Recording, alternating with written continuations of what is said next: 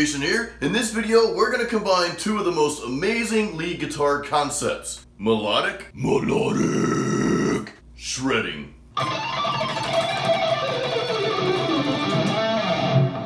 Alright, so let's jump right into this melodic shredding guitar lesson. I'm going to show you a very specific pattern and there's some core reasons why I want you to learn this very specific pattern that I'm going to show you and I'll cover that at the end of the lesson so definitely hang around for that. But let's get right to the lesson. I'm going to show you this pattern. I'm going to play it at normal speed if I can remember how to play it. And then after that I'll bring us in up close and I'll throw in the tablature.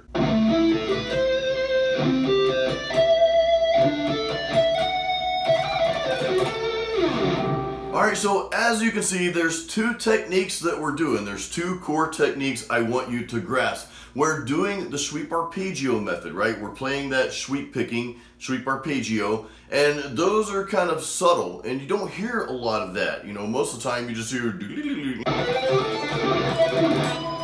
and that's fine, it sounds awesome. I love when people play that, I love to hear it, but I want us to kind of back down a little bit and play more melodically, if that makes sense, because it's going to give your solo that much more power, in my opinion.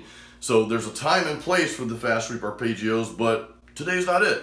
Now you'll notice the second technique that we're doing here, and this is where we get into the shredding part. I love to shred, and I know you love to shred as well, and that's when we're integrating the speed picking, the really fast alternate picking in there.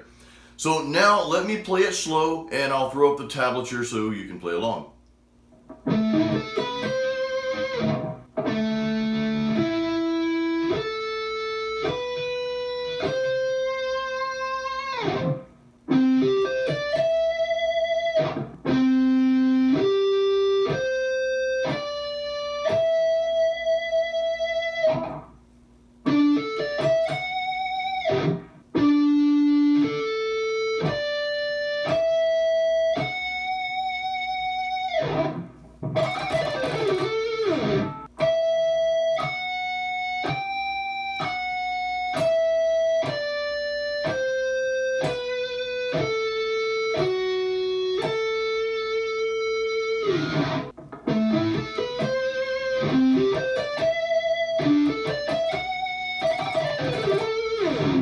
Alright guys, I hope you enjoyed that melodic shredding guitar lesson. If you need to go back and review this lesson again, I encourage you to do that. Just rewind. Be kind, rewind. Wait a minute.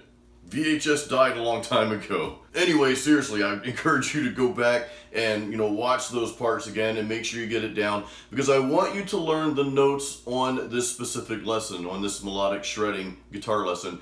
And the reason is because I want you to get the techniques down. I want you to integrate that melodic sweep picking technique with those speed picking notes. Now, once you learn the notes, and you guys hear me like a broken record here, I want you to expand on that and add more notes to the lesson. So play it, learn it to get the techniques down, get comfortable with adding those techniques together, get comfortable with playing with melody. You know, you want your guitar to sing, you want it to speak and punch people in the soul.